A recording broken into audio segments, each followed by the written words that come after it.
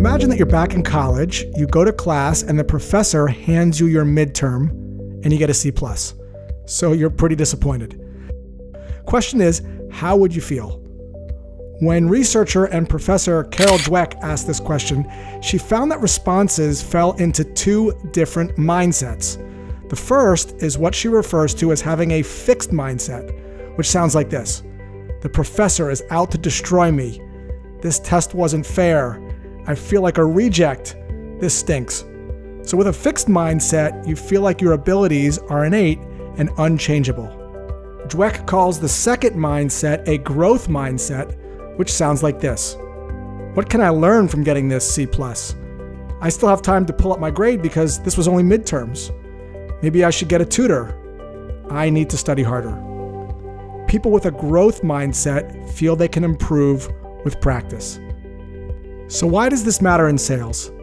If you have a fixed mindset, you see sucking at something like cold calling or cold emailing as a permanent thing.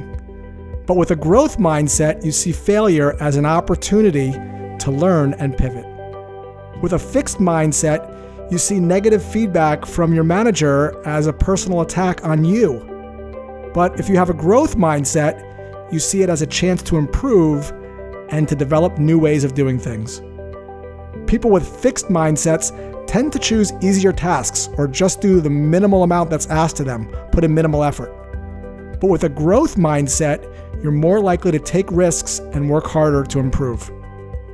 Those with a fixed mindset tend to give up when they bump into an obstacle like an objection. But those with a growth mindset view obstacles or objections as a chance to experiment and to improve. In a fixed mindset, the focus is on how you performed today how many meetings you set, how many calls you made, how many deals you closed. But with a growth mindset, the focus is on the journey of continual improvement. Sky's the limit. Mindset matters in sales because mindset shapes your actions and ultimately whether you improve in your abilities over time.